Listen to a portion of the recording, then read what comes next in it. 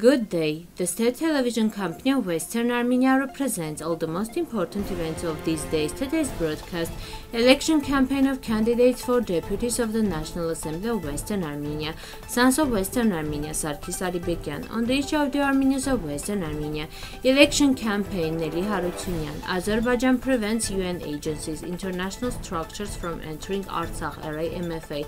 The Armenian community of Georgia has issued a condemning statement after a long break, a performance in Armenia was staged in the village of Vakef in western Armenia. At the 55th International Chemistry Olympiad, the Armenian team won one gold and two bronze medals. The Election Commission of the National Assembly of Western Armenia invites you to participate in the 21st Zoom meeting in Armenian, organized as part of the election campaign for the National Assembly elections in December 2023. The meeting will take place on July 27, 2023 at 8 o'clock French time and 10 o'clock Yerevan time. The topic of the meeting is culture and Western Armenia. 412 employees of commercial banks participated in the 44-day Artsakh War. One of those heroes is Sarkis Saribekyan. Hero Saribekyan was born in 1989 in Yerevan. He was from the Reserve Army. On September 28, he appeared at the military commissariat and went to the front line. Sarkis worked in a bank, but most of all he loved his native nature and worked as a guide. He spent the last days of his life on the hill. Sarkis was killed while defending high-tech positions on October 2.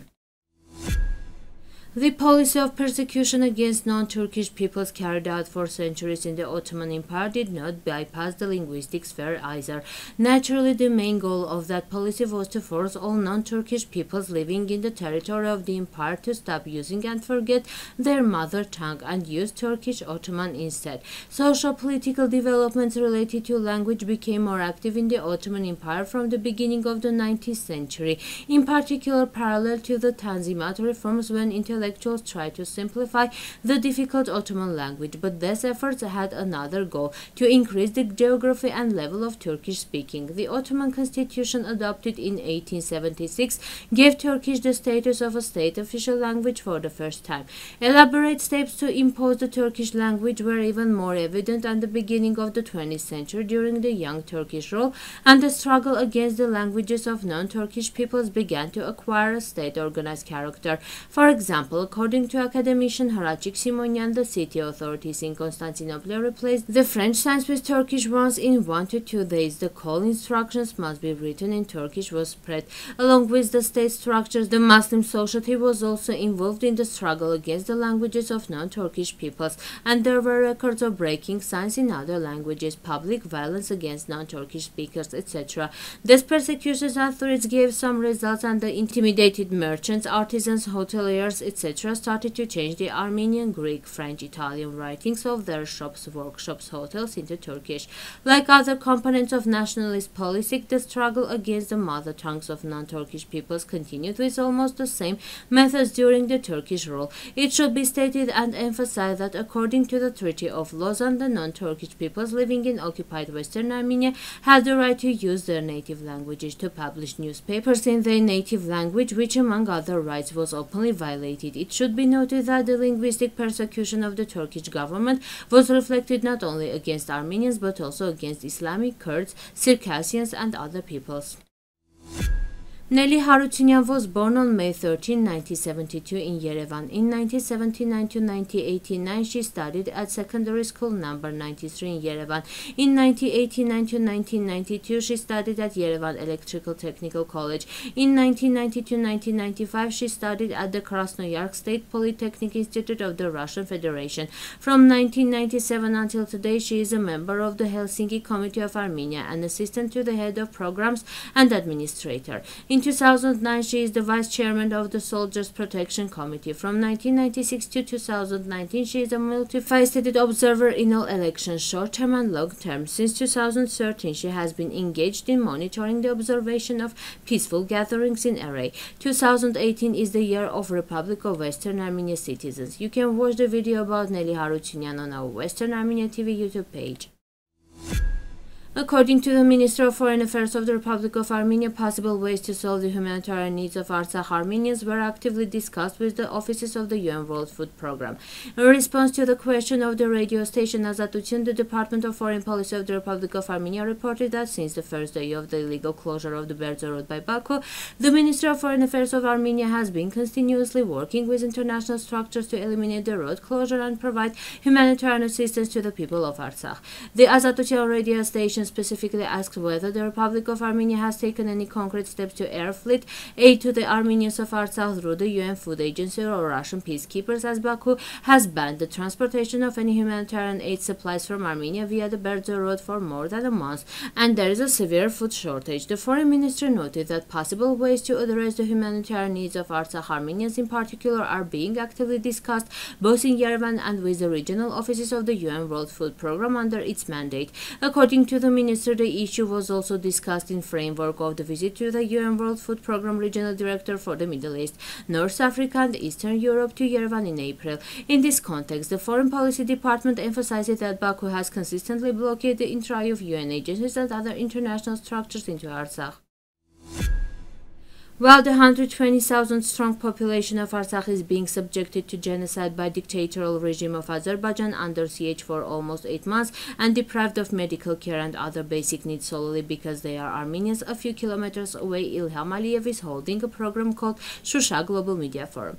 The level of Aliyev's cynicism about holding a forum dedicated to the defense of journalistic or, for example, human rights in Azerbaijan is no longer surprising. Recently, it was revealed that there are defenders of nature in this country. However, it puzzles us that just a few kilometers away from starving Armenian children, the event organized by their executioners is attended by Tinatin Berdzenishvili, General Director of the Georgian Public TV channel, which is financed by taxes paid by Georgian citizens, including about 180,000 Armenians, and Ramila Aliyeva, head of the Armenian language department of the same TV channel, taking into account that the Georgian authorities have always acted from a neutral position in the relations between Armenia and Azerbaijan Azerbaijan, often trying to mediate peace in the region. The participation of the mentioned officials in the event held in Shushi is worrying. Earlier, we stated that Aliyeva's stay as the head of the Armenian and Azerbaijani languages department of the public TV channel would hinder the objective and impartial activity of the department, but the TV channel's management did not take effective steps in this direction. Despite the devastating February earthquakes, the residents of the village of Vakef in western Armenia continue to lead a lively cultural life.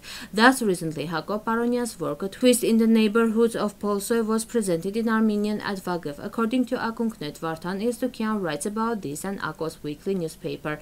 According to the source, about 200 people watched the performance. After many years, it was the first time that an Armenian play was organized in Vakef. In a conversation with Vartan Estukyan, one of the organizers of the performance, Andranik Bagir Kırcıoğlu stated that the performance was especially well understood by the elderly residents of the villages and that the organizers made special efforts to stage the performance in Armenian. The 55th International Chemistry Olympiad was held in Zurich from July 16 to 25 in which the Armenian team won one gold and two bronze medals.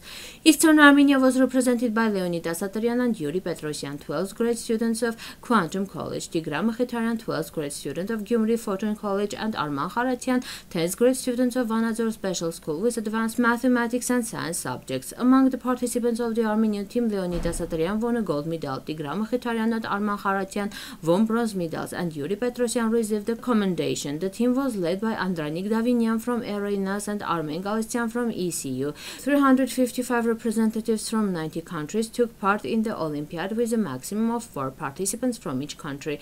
The Olympiad was held in practical and theoretical stages. Thank you for your time and attention. Now the musical part, the Armenian folk song.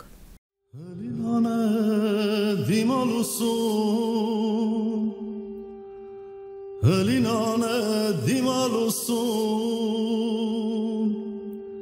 Բրնիկ ջամփան